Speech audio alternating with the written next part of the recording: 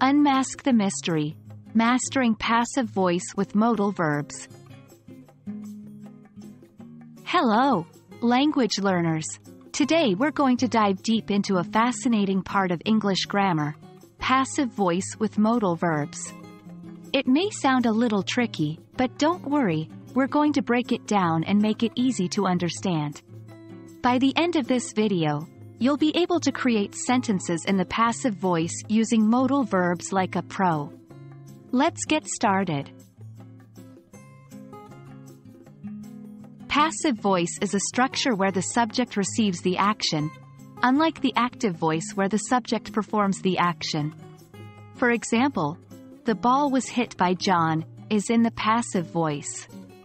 Modal verbs, on the other hand, express necessity, possibility, permission, or ability. Some common modal verbs include can, could, may, might, shall, should, will, would, must. When these two concepts merge, we get the passive voice with modal verbs, where a modal verb is used in a passive voice sentence. For example, the ball must be hit by John. The structure of a sentence in passive voice with modal verbs is subject plus modal verb plus be plus past participle. The modal verb conveys the mode or manner of the action, and the be verb and the past participle form the passive verb phrase. Let's consider an example. The work can be done by tomorrow.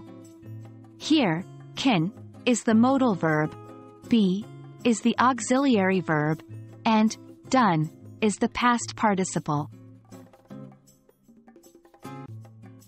Now that we've learned about the formation of passive voice with modal verbs, let's test our understanding with a short quiz.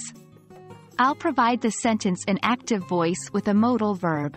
Your job is to convert it into passive voice. 1. They will finish the project next week. 2. We should clean our rooms every day. 3. He can solve this math problem.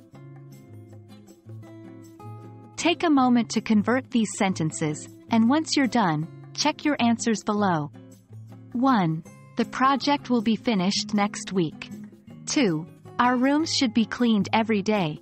3. This math problem can be solved by him. And there we have it. I hope this video has clarified the concept of passive voice with modal verbs for you. Remember, the key to mastering any language skill is practice, so keep experimenting with these structures in your everyday English. If you found this video helpful, give us a thumbs up and don't forget to subscribe for more English grammar insights. Happy learning!